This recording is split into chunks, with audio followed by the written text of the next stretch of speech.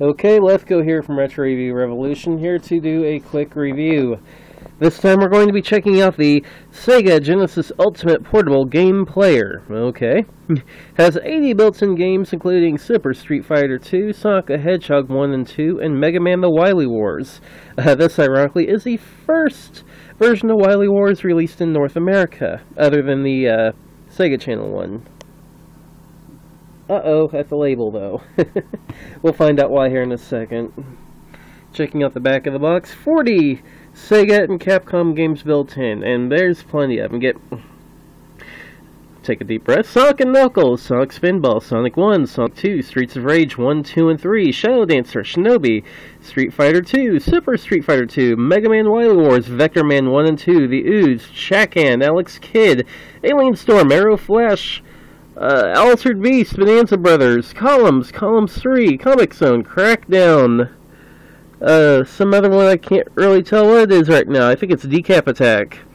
Mean Bean Machine, Ecco, Ecco 2, Ecco Jr., eSWAT, Eternal Champions, Fatal Labyrinth, Flicky, Gain Grounds, Golden Axe, 1, 2, and 3, Jewel Master, and Kid Chameleon. Plus 40 other crappy games. Checking out the handheld itself, it is made in black and blue. does have stereo speakers, red LED, six button controller. The bottom of it only has the power switch.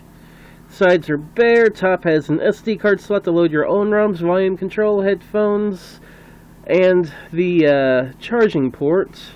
I forgot the bottom is actually the headphones. The top is actually a TV out. Sounds good so far, but there are issues. Let's look into some of these issues. Sarah power button. Screen pops on, takes us to the game selection screen. However, I'll move where you can kind of see my hand. I'm not going to switch it off, and just going to gently nudge it, or barely move it. Oh, wait, it just reset. Let me give it a better look. See if I can show it off in the camera there. You just barely nudge it, and it resets. That is the off position that's on. One more time. So yeah, problems in the quality control department. And now we're stuck in the white screen. There we go. Now this takes you to the menu select screen. The first 40 games are your Genesis games.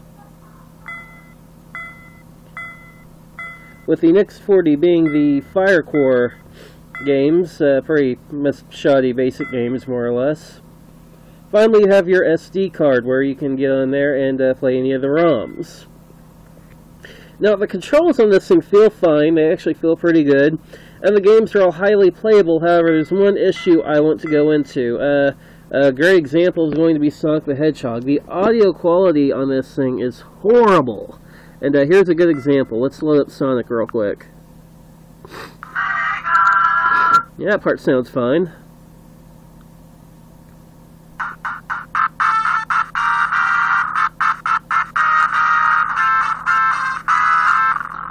Yeah, it didn't sound quite right. It's like a high end is gone. The ring sound collecting sounds a little weird too.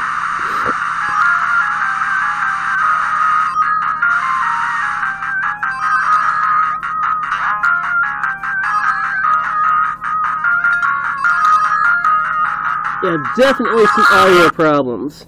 And it's not just this game, it's any game on here, any game you load up on the SD card, all has that weird audio problem going on.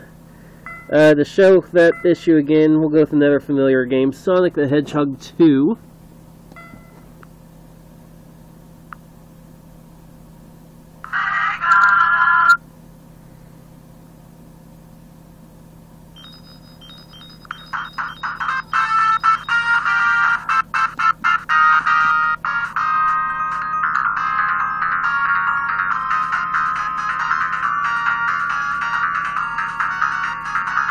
Audio problems everywhere.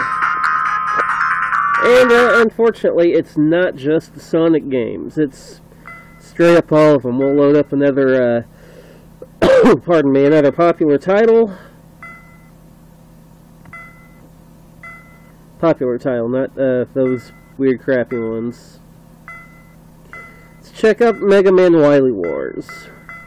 Which, it's great to be able to legally play this in the US, finally. Unfortunately, the audio problems just really hurt the uh, entire package.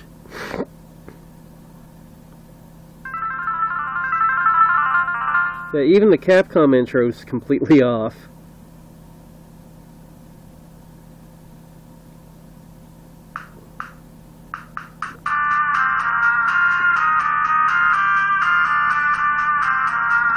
Just sounds off.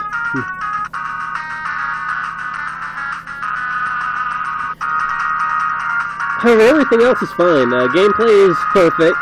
The controls feel great. The handheld is... pardon me again. The handheld itself is really light. Which is kind of weird. I mean, it feels very cheap, very light. And other than that power problem that I had shown you guys earlier with the power switch and the audio, it's a, a not bad piece of system, more or less. not bad piece of system. English, here we go. Uh, here's the thing. I wouldn't recommend it for that price.